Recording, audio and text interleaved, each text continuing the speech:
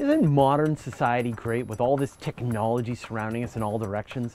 It's like a cocoon of sweet, fluffy silicon. There are chips in my fitness tracker, my Bluetooth headset, mobile phone, car keys, and that's just on my body. At all times in the Cain household, there are dozens of internet devices connected to my Wi-Fi router.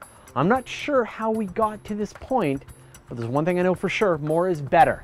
If I could use two smartphones at the same time, I totally would. And I'm sure you all agree that without all this technology, life would just be a pale shadow of its current glory. Without these devices, we'd have to actually interact with each other, maybe enjoy the beauty of nature or something boring like that. It turns out that terrible burning orb in the sky, the sun, is fully willing and capable of bricking our precious technology. It's done so in the past, and it's likely to take a swipe at us in the future. I'm talking about solar storms, of course, tremendous blasts of particles and radiation from the sun which can interact with the Earth's magnetosphere and overwhelm anything with a wire. In fact, we got a sneak preview of this back in 1859 when a massive solar storm engulfed the Earth and ruined our old-timey technology. It was known as the Carrington event. Follow your imagination back to Thursday, September 1st, 1859, this was squarely in the middle of the Victorian age, and not the awesome fictional steampunk Victorian age where spectacled gentlemen and ladies of adventure plied the skies in their steam-powered brass dirigibles. No, it was the regular crappy Victorian age of cholera and child labor. Technology was making huge leaps and bounds, however, and the first telegraph lines and electrical grids were getting laid down.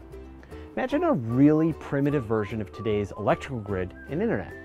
On that fateful morning, the British astronomer Richard Carrington turned his solar telescope to the sun and was amazed at the huge sunspot complex staring back at him. So impressed that he drew a picture of it. And while he was observing the sunspot, Carrington noticed it flash brightly right in his telescope, becoming a large kidney-shaped bright white flare.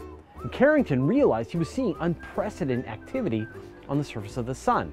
Within a minute, the activity died down and faded away. And then about five minutes later, auroral activity erupted across the entire planet. Now, we're not talking about those rare northern lights enjoyed by us Canadians, the Alaskans, Northern Europeans. No, we're talking about everyone, everywhere on Earth, even in the tropics. In fact, the brilliant auroras were so bright, you could read a book to them.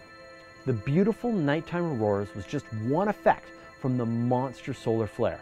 The other impact was that telegraph lines and electrical grids were overwhelmed by the electricity pushing through our wires. Operators got electrical shocks from the telegraph machines and telegraph paper went on fire. So what happened? The most powerful solar flare ever observed is what happened. Now, a solar flare occurs because the sun's magnetic field lines get tangled up high in the solar atmosphere.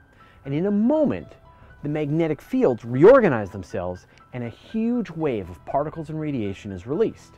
Now flares happen in three stages. First, you get the precursor stage with a blast of soft X-ray radiation.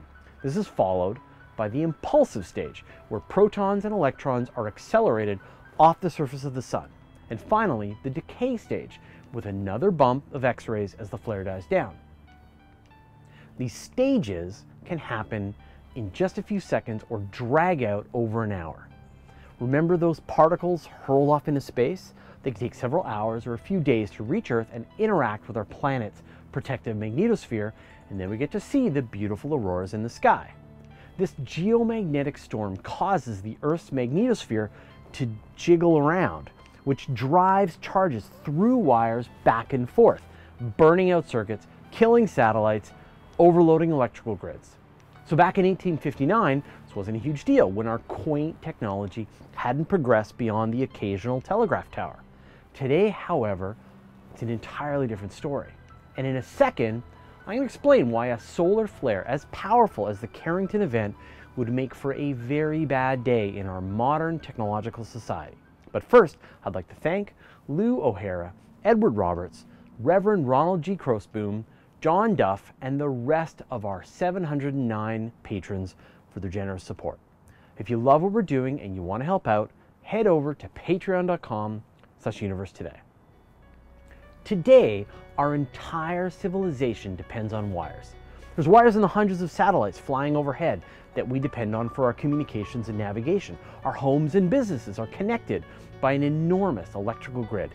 Airplanes, cars, smartphones, this camera that I'm using. Everything's electronic or controlled by electronics. So think it can't happen?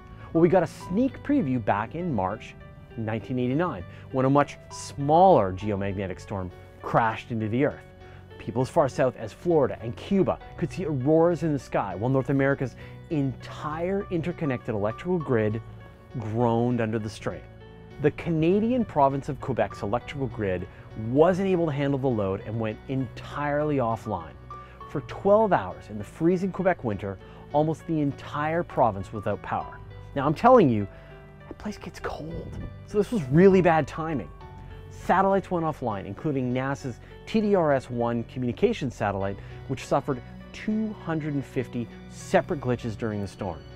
And on July 23, 2012, a Carrington-class solar superstorm blasted off the sun and off into space. But fortunately, it missed the Earth and we were spared the mayhem.